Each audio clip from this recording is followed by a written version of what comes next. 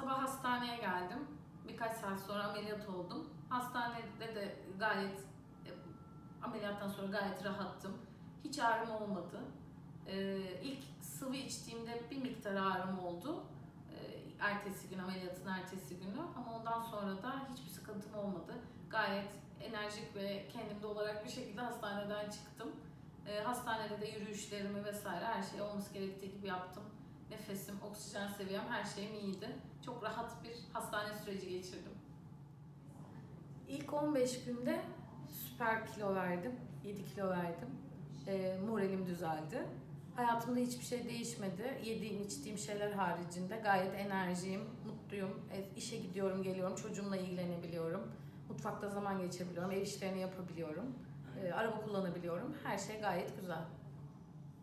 Bu bugün birinci ay kontrolüm. Son 15 günde daha fazla şeyler yemeye başladım. E, simit denedim, mantı denedim, e, profiterol bile yedim.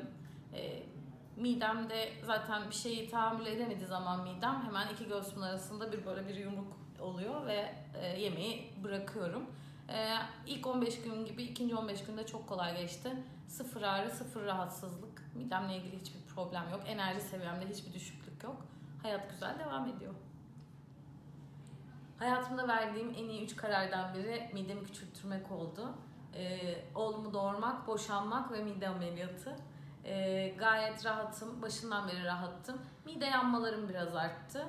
Ee, ama e, kendimi çok daha iyi hissediyorum, çok daha sağlıklıyım. Şeker problemim kalmadı. Senelerdir sabahları şeker hapı içmek zorundaydım.